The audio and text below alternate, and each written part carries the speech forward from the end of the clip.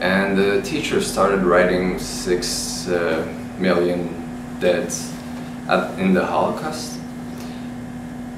And uh, when he finished writing Holocaust, there was this one kid in the back of the class where he started applauding. So I was completely outraged, you know, so I turned around real fast and I scream at him, what are you doing? But really strong, you know.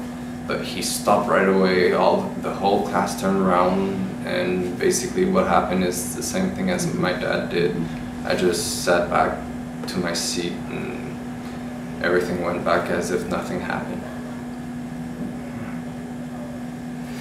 But at the end of that year, at the end of that school year, this teacher, you know, we were in a portable because there was, you know, this was the baby boom generation and, uh, and they didn't have enough space for us in the schools, so had, we had these portables, you know, in, in the schoolyards. So we were in a portable, you know, in our own sort of, you know, little space there. And uh, it was a recess period, and I was uh, playing handball, you know, with other students. And so we had this rubber ball there. And the teacher's walking across the, uh, the schoolyard to the portable. And my, a friend of mine, who I think was a Canadian, yes, or maybe he was Jewish, he had the ball in his hand and he pretended that he was going to throw it at the teacher, sort of in retaliation for this mm-hmm. incident that mm-hmm. took place months and months mm-hmm. beforehand. And just, you know, holding the ball up like that, the teacher turned around and stared at him and stared him down. So I didn't like that, you know, so I said, give me the ball. And he was afraid to give me the ball. So I took the ball and I looked at the teacher and he was still staring, you know. He was on the steps going up to the entrance door to the uh, portable. And so I figured, you know, why not? And, but I didn't throw it at him directly. I just threw it and it bounced off the side of the portable. You know. So I threw it, and it bounced off the side of the portable, you know. Mm-hmm. This teacher went ballistic, you know, and he started running after me. First of all, he went and he, he grabbed the ball, and he was going to throw it at me. So I took off. But he was a very tall guy, and uh, and he was able to run faster than me. So I was trying to, you know, find a way to escape from this guy, you know. And so I ran behind the portable, and I was running down the, uh, the space between the portable and the fence, and he was following me. And then he was catching up to me, and so I was accelerating, and so before I could get away, he threw the ball at me and hit me. And then, again, you know, just pretended that nothing was happening.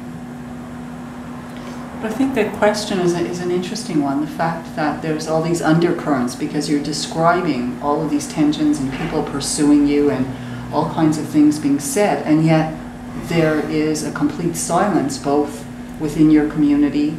So there's all these undercurrents going on, and yet nothing overt, no one making sense, no one making reference. Oh yes, it became quite a, a problem, you know, because there was a, a neo-Nazi in Toronto who started to make propaganda against the Jewish people. He was a Holocaust denier, explicit Holocaust denier and uh, he was uh, he's in a, a, a, prison in Germany now because he was finally deported from Canada. However, he was a German citizen um, seeking uh, immigrant status in Canada, and somehow it took like 20, 25 years for him to be deported from Canada. And even though there was this law created, you know, against the propagation of hatred, he was never successfully charged with this law. And he went on and on and on, you know, and he was getting all sorts of media attention. And whenever he got interviewed on the media, there was never, you know, a Holocaust survivor who was presented, you know, to counter what he was saying. He was just given free rein in the media. I couldn't believe it. And he was holding demonstrations, and he had a whole gang of people, you know, around him who would go and demonstrate and all this sort of thing, making him out to be a hero because he was being charged under some sort of other thing, disturbing the peace or something, you know, some minor sort of infraction that was really uh, impossible to take. So you were how old? This you're still in Toronto at this time, growing up when this. This that phenomena of the neo Nazis, you know, started when I was about 13, 14. Yeah. And again, there was no context to talk about that. This you're just picking up on your own through the media or through, but no one's actually helping you, or even in the bar mitzvah club, this is nothing that's in any way being No, the mitzvah club, it, uh, it, it folded, you know, After after the that. battle, yeah, it just stopped. No, we didn't have any sort of, And then you stop going to the synagogue, so I'm just trying to situate you within, synagogue, you know, growing- fell apart too, you know, because like I, I was going to the synagogue, I was Orthodox until about the age of 14, you know. I even laid tefillin, you know, for a year before my bar mitzvah at the age of 13, which is, you know, really uh, heavy duty, um, you know, religious rite, you know, every morning, prayers. And uh, then, uh, then there was nothing. There was no organization left after that for me to uh, associate with that was Jewish. was that, Because our was that a longing? Was it something that you missed, or was it a relief to, No, no. Um, you know, our synagogue was, uh, well, the our school was shut down by the what was called what came to be called the Hebrew Board of Education. You see, because the Jewish educational system was taken over by the political current in the Jewish community that's called Zionist. Um, and these collection of political parties that were basically, you know, rooted in the Canadian Jewish community, which were oriented to supporting the establishment and the furtherance of the State of Israel, wanted to instill Hebrew as the oral language in the Jewish educational system rather than Yiddish, even amongst the refugee population. So our school, which was a high percentage, you know, of refugee kids, was uh, the subsidy was removed from our uh, from our operation, and so the school had to shut down. because the language that you were operating was Yiddish, and That's they right. wanted to instill Hebrew as the That's right. Yes. Because the Montreal experience was different, you know, from the Volksschule, Yiddish was the language that continues today There to be taught, as well, of, of course, Hebrew was introduced, but the, both languages remain. Perhaps in one, one or, or Mhm. other schools. You know, in Toronto, there was still the Peretz School, which Yes. was affiliated with the Worker Circle, Yes. which was a social democratic, Yes, you know, the same as in Montreal. Jewish organization. Yes, same as in Montreal. They retained Yiddish as a language, yes, but the general um, Jewish Okay. educational system was converted into teaching Hebrew as an oral language, whereas previously Hebrew was a sacred language. It was the language that you only sort of you know study to translate you know from text, you know, so that um, you know we went through uh, the Torah, translating it line by line, year after year. We went through the Torah, we went through the Talmud, sections of the Talmud, Gemara, and we, and we translated all this, you know. And we each had to take a sentence and translate it, you know, one student after another in the class, you know, very stressful. but, uh, you know, uh, we developed a, a tremendous discipline, you know, of, of study as a result. But then it all ended when you were at- at So after 13, uh, yeah, at, at 13, you know, I was I was uh, still in school. It was my last year of school. It was the so I went through seven years of this Jewish educational uh, uh, uh, um, uh, the Cheder school uh, for seven years, and there was one more school, that, one more year of schooling that was left in in the school before you go to a uh, yeshiva, which was like a secondary school or a rabbinical school where, where students are taught to be rabbis, basically. So. Uh, um, so the last year is when the school was shut down. So I didn't get the eighth year of study, you know, in the Jew, in the Jewish school. The basically the Talmud Torah. It was shut down. You would have wanted that, Oh, I was into it, yeah. and your parents would have wanted it for you? Oh, yes, yeah. And there was uh, a protest made about this, and there was a coverage in the uh, Canadian Jewish newspaper at the time in Toronto that uh, there was a scandal, you know, that the school was being shut down. And then soon afterwards, the school, the synagogue itself, which was a big, beautiful building, three-story building on Dovercourt and Bloor in Toronto, was uh, was sold by the Canadian Jewish members, and they, the the um, the parents who were refugees weren't members of the of the of the shul because they couldn't afford to pay for the membership, so they didn't get to vote on the matter. So the synagogue was just sold out underneath them, and the synagogue, uh, well, the monies went uh, to a uh, to um, fuse with another synagogue up north called the Beth Emeth Beis Yehuda Synagogue. So they retained the name because you know they gave all that money to the uh, to the other synagogue and they built themselves a, a, a big you know modern building up the north, to which we had no access to. So we didn't have our synagogue anymore, and uh, and uh, what people did is that uh, during the high holidays, you know, various you know other places, uh, apartments even, were just converted into synagogues during the high holidays to make space for people to go and pray during the high holidays in September. So that- is that what your family? Yes. doing? Yeah. So you know, certain synagogues allowed people in for free to pray. Others, you know, charged people to go in to pray for the high holidays, especially. So. So what, what, what's the course thereafter? So you can see with the lack of ability to continue in your school, with things uh, not being available for you. So that was one sort of, you know, shock. Then, you know, as more and more information came out about the Holocaust, and I became more and more aware of what I had gone through, you know, with my parents. Because my parents, okay, although they didn't talk about the Holocaust very much, you know, the absence of talk about relatives and the fact that once you became once you got to know other people like Canadian Jewish people or Canadians, and they would talk about all their relatives and all the different names and titles for the different sorts of relatives that they had. And I never even knew that these names existed, you know, and these titles and, and how big other people's families were and all this sort of thing. You see, because in our family, of each of my parents' families, there was only two survivors. Because my mother, when she escaped and went in to uh, meet up with her brother in Russia, she came back. The message that he sent her with the railway that he was yes, the. Underground Railway, and she successfully met up with him in the forest in Russia. Then she came back with messages for the uh, resistance, and she got back into the uh, Warsaw Ghetto. You know, uh, passed on the messages, and then she escaped again, jumping over the wall with a younger sister, who was the only one in the family who would go with her. Oh. Her mother, my grandmother, didn't want to leave because she said two reasons. One, they didn't have kosher food in Russia, and two, Poland was her home and she didn't want to leave her home. So she stayed, and subsequently we found out that she starved to death in the Warsaw Ghetto because you know the food was just cut, cut off, you know, to the inside of the ghetto. And even with smuggling and all that, there wasn't enough food in the ghetto. People were just starving to death before they were sent to death camps. Mm-hmm. And then when the shipments started to happen, they were um, sending about 35,000 a day to death camps from the camp, from the, from the ghetto there.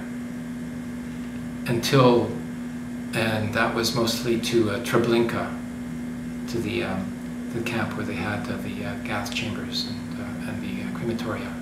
That was the main death camp, you know, for the uh, residents of, of Warsaw. And also the ghetto of Lodz, which was a, a smaller city outside of Warsaw.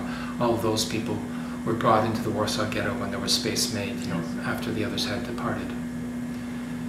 And so that's why our society in Toronto of the survivors was the Warsaw Lodz. Society, Yeah. Warsaw and Lodz together. Mm. So her and her sister. And so then from your escaped, yeah. So they went and joined up with my uncle, and they took a picture when when they got back. You know, and they successfully, you know, she successfully saved her sister. So they took a picture, and I have a copy of that picture. I'll be able to show that to you.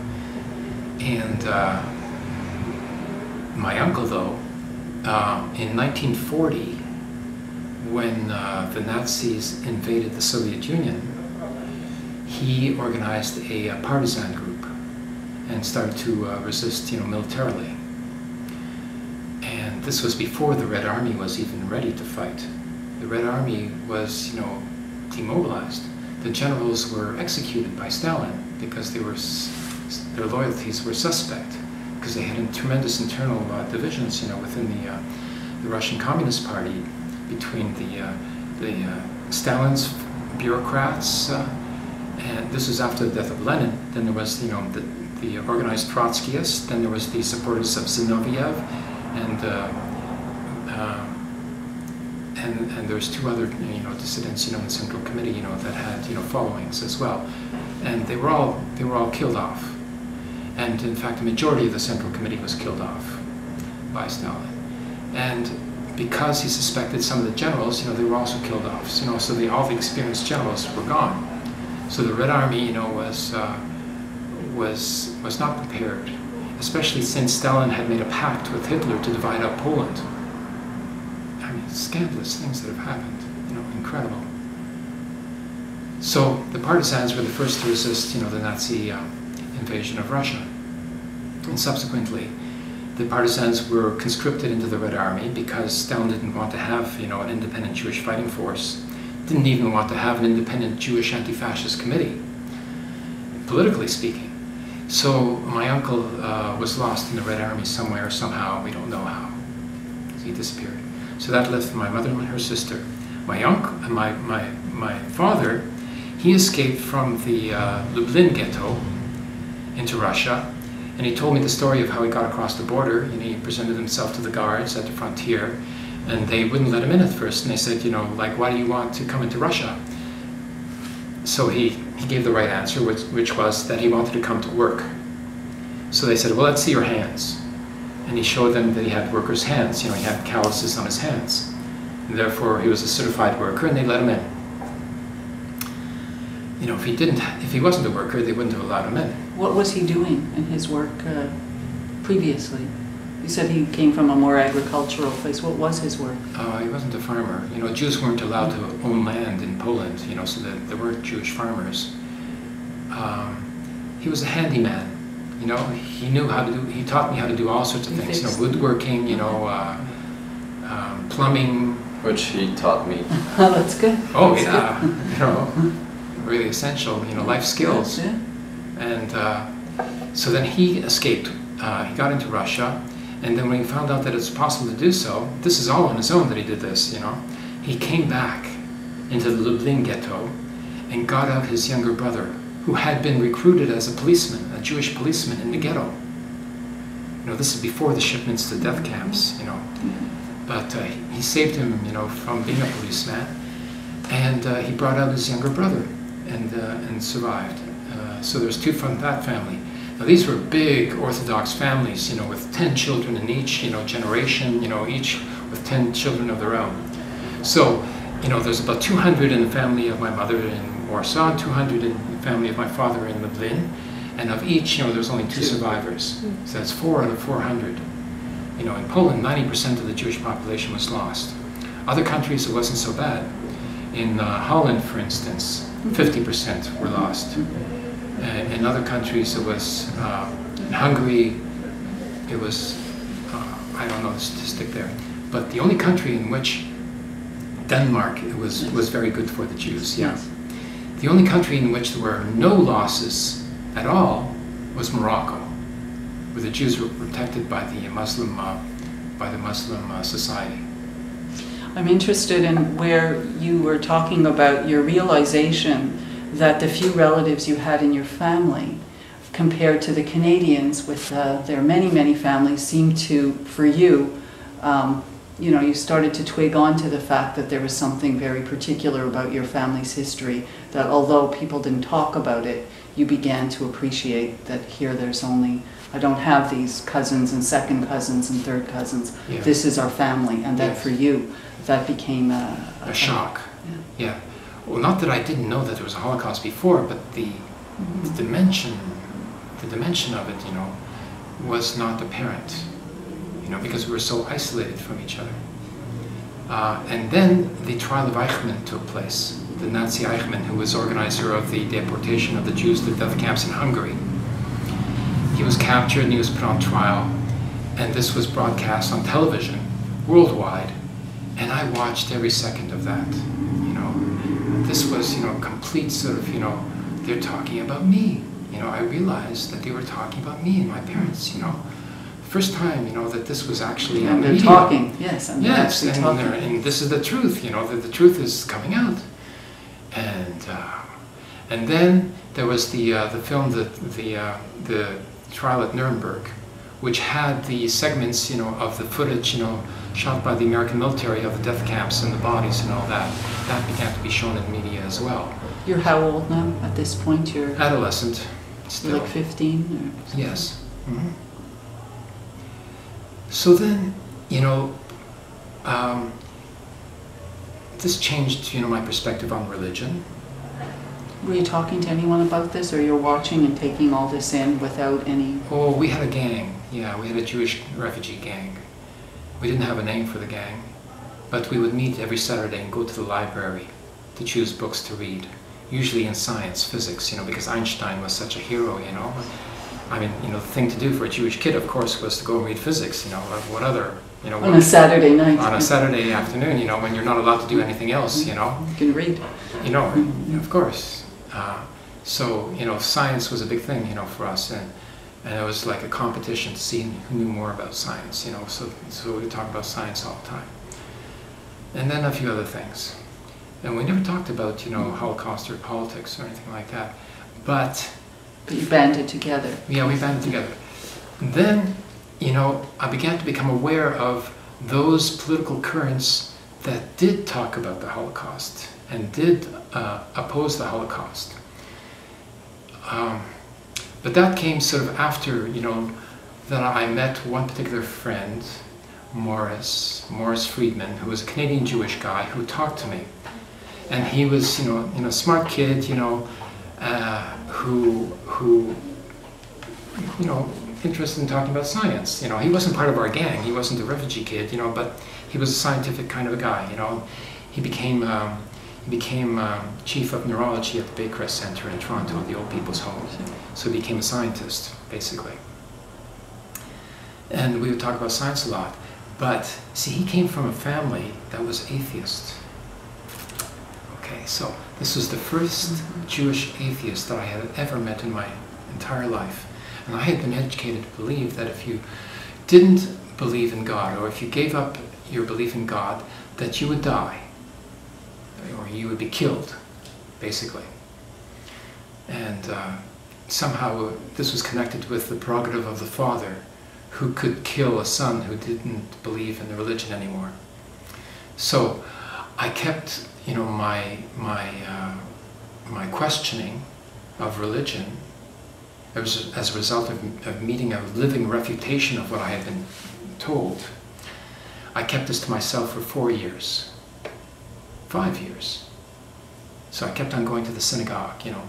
But I was always late, you know. My father was always angry with me because I was late, you know. Like he would go for nine o'clock in the morning on Saturday morning. Go before lunch, for lunch. After working until until midnight the night before, uh, I think he was forced to work on Friday nights, even though it was the Sabbath, even though it was Shabbos.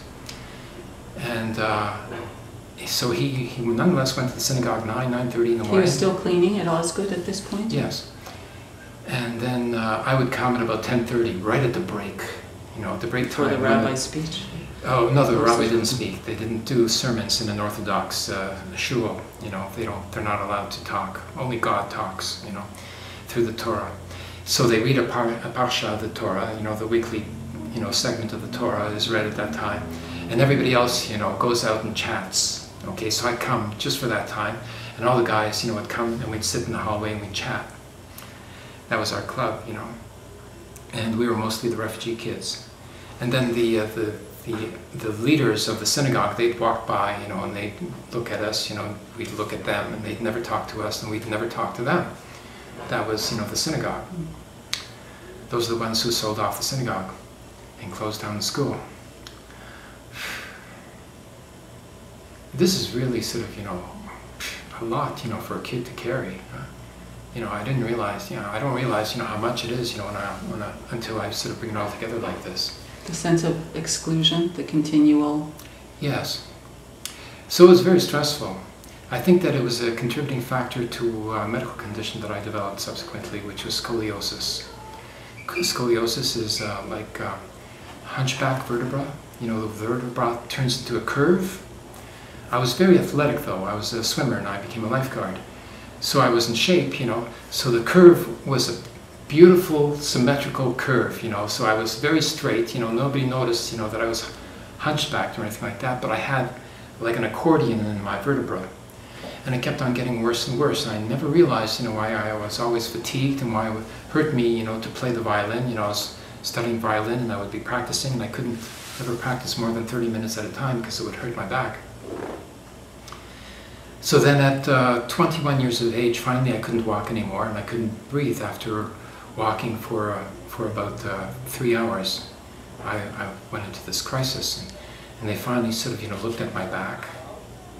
Because in the poor people's clinic at the Mount Sinai Hospital in Toronto, where you would go, you- you'd get like five minutes, you know, of a doctor's uh, time, and they would never have any time to do a general examination, so they never noticed, you know, that my back was, you know, being compressed.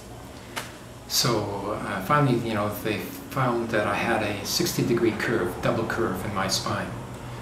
And at uh, 23, you know, I, I couldn't uh, function anymore, and so they did the, the, um, that pioneering operation at the time called the Harrington rod, in which they, uh, first of all, they stretched out the skeleton, and then they operated to insert a metal rod in there to keep uh, the keep the spine un, uncurved. So they reduced the curve from 60 to 45 degrees, and with that, I was able to function. However, as a result, you know, uh, of a five-hour operation, I was transfused with hepatitis C, and so I was uh, slowly dying with hepatitis C virus for 28 years. But I saved myself. Did you know? Were you immediate? Was it immediately known, or it wasn't even known what this virus was at the time until 10 years later they called it non-A, non-B, you know, hepatitis. And, uh, and so I saved myself basically by uh, staying a vegetarian and not drinking any alcohol.